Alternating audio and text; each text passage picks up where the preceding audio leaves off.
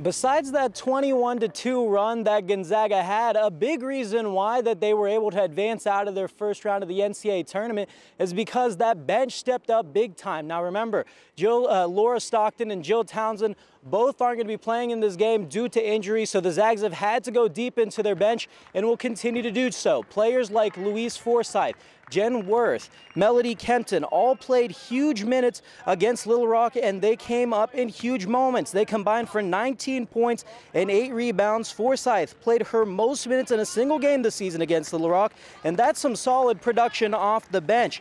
That's what, the, and this is what the team had to say about its depth from the first round contest that they feel they can carry over to the second game.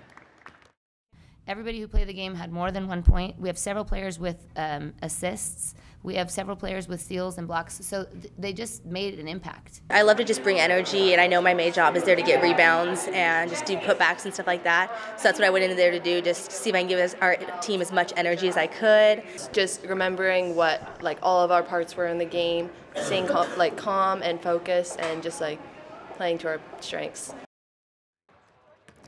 The other area the Bulldogs must do well in is defending that three ball. The Beavers are fourth in the country in three point field goal percentage. Their ability from the perimeter is how they're able to open up the whole entire court for their offense.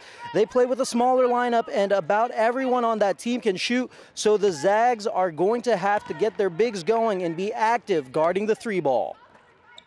Obviously, they shoot the ball very well from the perimeter. So uh, we're going to have to defend things very differently. We were we were trying to pr- protect the paint um, strongly against uh, Little Rock and against Oregon State. We're going to have to defend the three and protect the paint. And every every game that you play in the tournament, the teams get um, more versatile and bigger and more well-rounded and those kind of things. And so this is just the next step for us. And hopefully we'll show up ready to defend and play with the same kind of energy